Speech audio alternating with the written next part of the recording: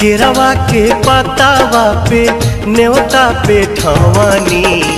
Guys तो ये देखिए आज यानी कि खरना की तैयारी हो रही है और ये चूल्हा बन गया बिल्कुल नई ईंट का फ्रेश चूल्हा बना है।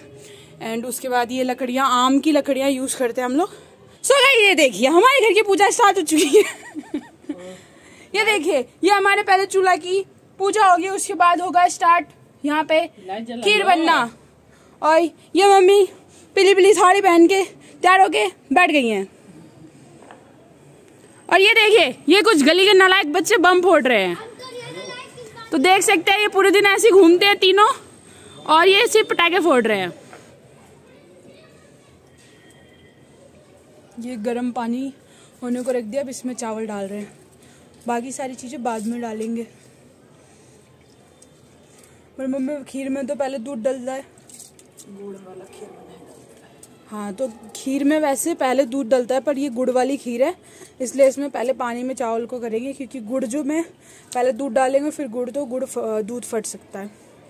राइट ये ये गुड़ ये अलग से आटा ये ड्राई फ्रूट्स आ गए हैं इसमें डालने के लिए। डब्ल्यू आई पे बन रहा है ये। उसके बाद ठीक है? मेरी अगर कुछ कांड हुआ ये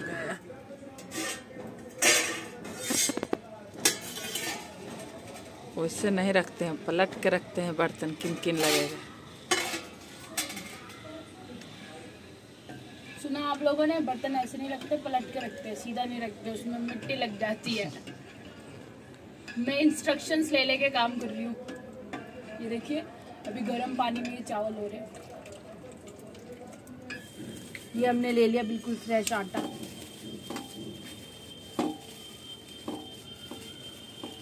और ये पूजा वाली थाली में आटा गूंद देंगे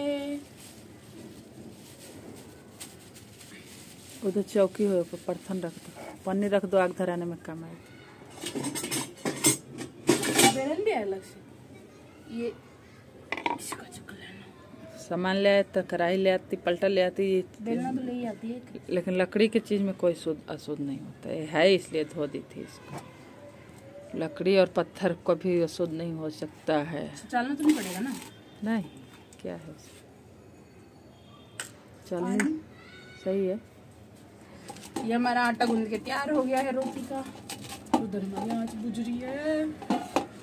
रुको गाइस रुको। इसको पकड़ाओ। हमारा आटा गूंद गया है। सो गई जैसा कि आपने देखा, पहले इसको गर्म पानी में फिर चावल को डाला था और उसके बाद चावल जब पक गए तो अब गुड़ डाल रहे हैं। गुड़ को जो है अच्छे से मिक्स कर लेंगे। थोड़ी देर गुड़ गुड़ के साथ भी इसको पका लेंगे ताकि गुड़ जो है वो चावल मिक्स हो सके। दूध तो हमें डालना नहीं है क्योंकि बेसिकली दूध डालने से जो है वो फट सकता है। तो ये देखिए, दूध जो है वो गर्म कर रहे हैं हम लोग। इसे मम्मी ने डोलो में कर दिया है गर्म। तो यहाँ पे ये दूध गर्म हो जाएगा। उसके बाद जो है वो खीर का जो इन्ग्रीडियंट्स इधर बन के तैयार हो गया। उसमें दूध और ड्राई फ्रूट्स डालेंगे।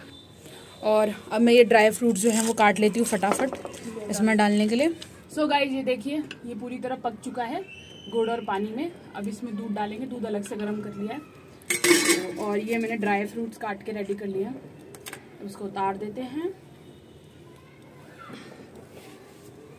बैठ जाओ आराम से भाई। अब क्या करूँ? कढ़ाई रख दो दूध डालो उसमें। और ये कढ़ाई में बनेगी हमारी रोटी। मेरी मम्मी तवा नहीं लाती है कढ़ाई में रोटी बनाती है। ये हमारे यहाँ का ट्रेडिशन है ऐसा कुछ भी नहीं है मज़ाक कर रही हूँ। और टेढ़ा करके बनेगा। क्योंकि वो लोहे की कढ़ाई और शुद्ध मानते इसलिए उसी में बना लेती हूँ। चार पाँच बना दो और ले जाना अपना मम्मी मम्मी के लिए बनेगी इसमें उसके बाद तो हम नॉर्मल घर में बना लेंगे बाकी। ठीक है? तुम्हारा अपनी चार पाँच बना हूँ? हाँ। खाना परोस देंगे। खाना? इधर पास में ना खीर के पास मेरे को मत दिखाना खाली खीर को दिखाना। तो ये देखिए ये अभी जैसे कि मैंने आपको दिखाया था डो ये बन चुका है और डोलू में ये दूध को गर्म कर लिया है। अब इसको जो है इसके अंदर डालेंगे। खाली इसी को दिखाना पास से। देखिए पूरा डालू? डालो। पूरा नहीं बस करो। चला। देखिए डालेंगे इसमें ड्राई फ्रूट्स।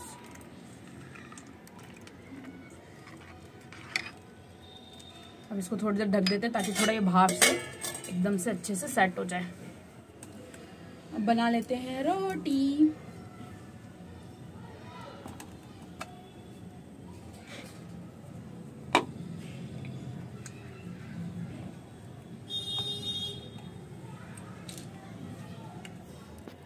इस टाइप से रोटी बनाऊँगी मैं फटाफट।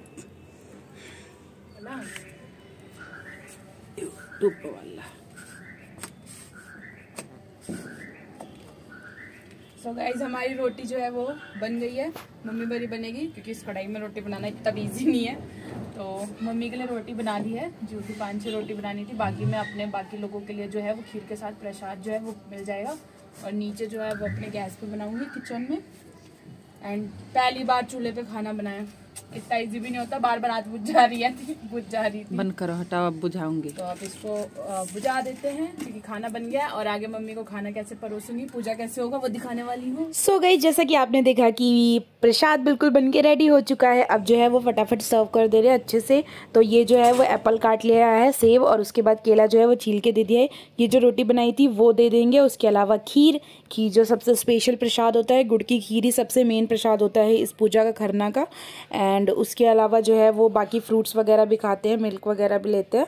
और उसके बाद ये अगरबत्ती पूजा करने के लिए जला दी गई है सामने और फटाफट अब पूजा हो जाएगी। एंड देन उसके बाद जो है वो ये देखिए, ये सिंदूर लगाया जाता है जो हमारे ट्रेडिशन में आपको पता होगा, ये नाक से जो लगाया जाता है, नाक से लेके पूरा मांग तक में। तो वो लगा रही हूँ मैं। एंड मतलब अच्छा लगता है मुझे तो देखने में काफ़ी ये लगा दिया है कितना सुंदर लग रहा है। और अब फटाफट जो है वो मम्मी प्रसाद को जो है वो निकालेंगी पहले। अग्रासन बोलते हैं है ना मम्मी? अग्रासन निकालेंगी एक भाई के लिए और एक गाय के लिए। उसके आगे वो देखना एंड उसके बाद आप भी जल्दी जल्दी प्रणाम कर लो और फिर आगे ब्लॉग जल्दी से थोड़ा सा बचा हुआ है वो तो ख़त्म करते हैं। बच्चों के लिए निकलता है। मतलब भाई के लिए मेरे को नहीं देती। और ये जो है वो गाय के लिए निकलेगा। गाय के लिए प्रसाद और ये अब खा लेंगे। तुम तो खाओगे हमारी जूठा? मैं खाऊँगी जूठा एंड में। और ये भाई के लिए निकला है और ये निकला है गाय के लिए। मतलब गाय और भाई के लिए पहले खुद उसके बाद और मुझे तो सबसे लास्ट में। मतलब गाय भी मुझसे महान। तो गाइज़ हो गई है पूजा। अब खाना शुरू कर दिया है। तो आई थिंक आपको ब्लॉग पसंद आया हो। Tata bye bye happy Chhath puja सबको।